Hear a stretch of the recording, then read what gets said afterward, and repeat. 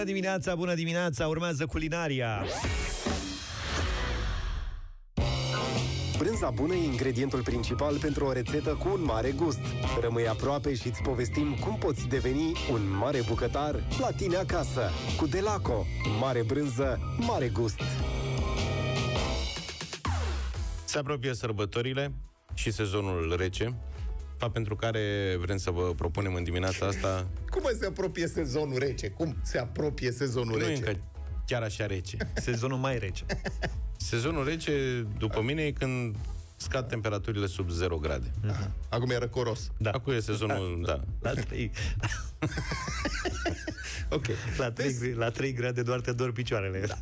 Rest. Iar rețeta de astăzi... Cât mai e la tine calorifer? Nu vreau să intru că mă indispun.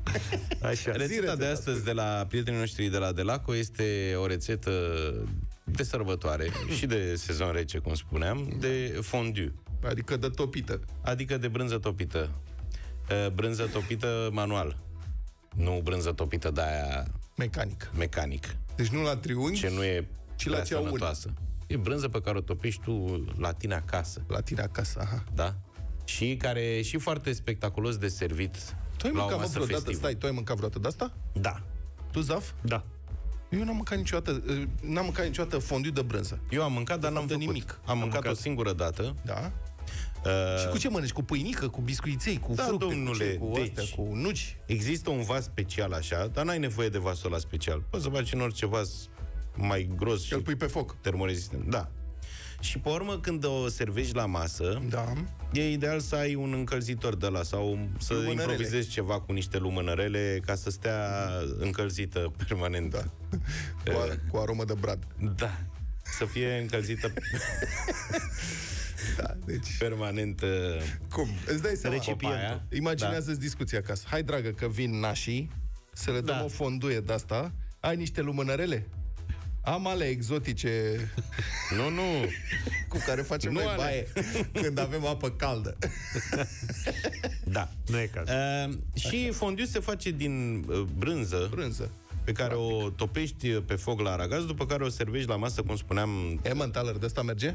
Asta este. Deci astăzi avem cu Emmentaler de laco și cu mozzarella de laco. Astea sunt cele două ingrediente de bază. Sigur se poate face și din fel de fel de brânzeturi, uh, mai, că e o rețetă ce provine din Elveția, din țara brânzeturilor fandosite, ca să zic așa. Dar se poate face un fondiu foarte corect și din delaco și mozzarella. Ce nu știam eu este că intră foarte mult vin în această Și pe lângă. rețetă. Da. Asta adică... adică, atenția. a? da, serios. Ia. Cantitățile sunt în felul următor. 400 de grame de Emmentaler de Laco, 200 de grame de mozzarella de Laco și 250 de mililitri de vin alb. Serios? Bașca, o lingură... Vinul alb să fie rece? Nu, evident, plecăm cu el la temperatura camerei. O lingură și o linguriță de amidon. o lingură și o linguriță? Așa e rețeta.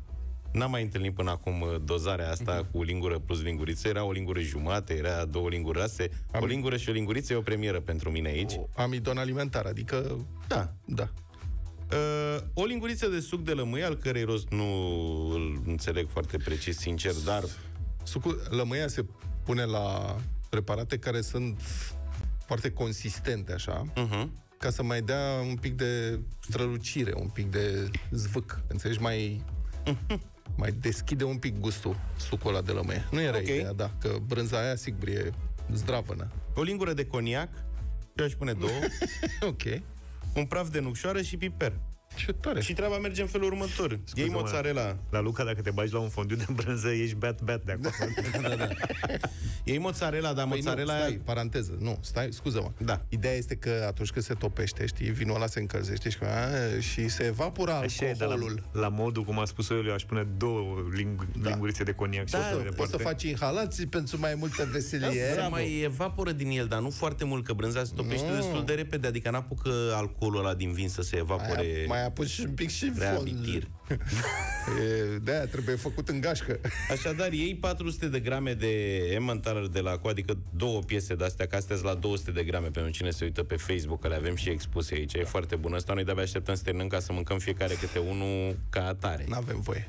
Așa, și 200 de grame de mozzarella de laco, de aia gurme aia tare, de se pune la pizza răzuibilă, nu aia în zeamă, da? Îl razi emmentalerul, razi și mozzarella. Da. Și le pui în vas pe foc mic, Pitic. cu un pahar de vin alb, cum spuneam, cu o lingură și o linguriță De amidon. de amidon și cu sucul de lămâie. O lingură. Mă întreb dacă e nevoie de amidonul ăla, de obicei... Dinga, dinga, linga, Leagă. dinga. Da. Păi da. Da. Hm, ok. Și pe urmă, la sfârșit, pui coniacul pentru Conesori? conesori și savoare, Da. piper și nucșoară și mai lași 2-3 minute Coniac? Pe foc. N-ai cu cine, mă, niște țări. Doar cât să se, da, cât să se omogenizeze aromele astea în fondiu. L-ai dus pe masă, ai venit cu... Cel mai corect e să-ți iei spirtieră de aia, cum aveam la chimie. Știi? Un bec teclu? Da. Eu zic că nu-i nevoie. Oaspeții rămân muți, Da. nu știu ce să facă și tu aici trebuie să le oferi niște legume, Legume. legume tip uh, țelină De-astea crocanțele. tulpină, Da, da, adică așa apio. numită apio, uh, Cred că ardeica ardei, așa. gras, ardeica apia, Mhm. da? Astea crânțănicioase sunt cele mai bune, morcov, Mhm. și dai cu ele prin fond. Sunt niște furculițe speciale pretențioase cu care am mâncat eu mai lungi, așa cu Practic, doi e- dinți, dar poți să mănânci cu orice, poți să mănânci și cu mâna. Dacă ești... Dacă, Dacă ai mi-e mănuși prea anti... festivă masa. Mă, Dacă ai mănuși de pompier, poți să mănânci și cu mâna. Da. Practic, cu mănuși de Kevlar sunt foarte bune la asta. Și da. Deci, practic, uite, și dietetic se Și mănâncă. legumițele și le hați. legumelele. Și te Acolo. legumești în brânza topită. Cum Da, vrei. sau poți să îi cumperi uh, crutoane de alea mai Grisine mai mari. se mai cheamă. Grisine.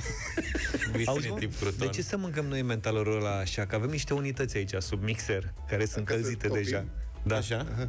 Și putem să-l topim. Dar pe cred că mai unitățile. merge Poți să și mănânci cu, și cu fructe. și cu nuci, nu știu, cu fructe, Niucă. cu Ba da, struguri, cu măr. Cred. Da, cu măr, cred că Cu merge. măr merge foarte bine. Da. cred că tăvălești merge cu un pic măr. pe acolo. Cu pară nu merge, că e prea dulce. În măr cele din afișat. urmă o să ajungi să iei cu lingura direct. Și să mai pe tine. da, da, da, da, da. Mai ia două coniace pentru fondiu. Lasă lingura.